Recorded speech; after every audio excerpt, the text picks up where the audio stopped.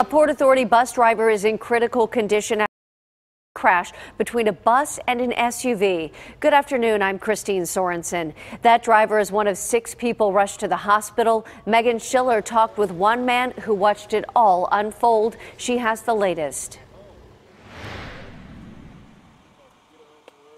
The Port Authority bus came to a sudden stop right here on this utility pole, putting a dent in the side. It also took out the wall, sending cinder blocks all along the sidewalk.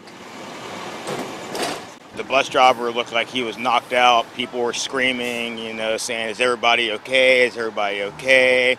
And literally within about a minute or two, here comes ambulance, police. Chris Tutt saw it all unfold. He watched as the bus tried to avoid the SUV, losing control.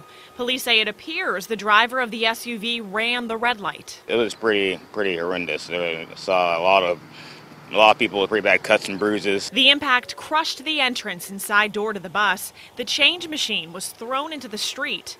Firefighters used the jaws of life to free the driver. The front end of the bus, like it looked like it was missing, like on the driver's side, it, that part looked like it was just missing half. The bus driver is at Mercy Hospital in critical condition.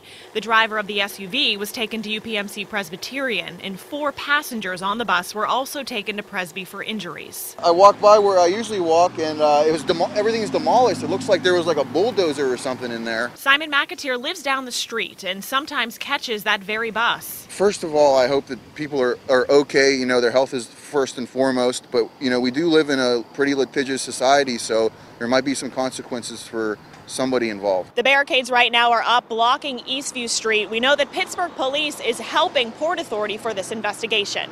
Reporting in Homewood, I'm Meghan Schiller, KDKA TV News.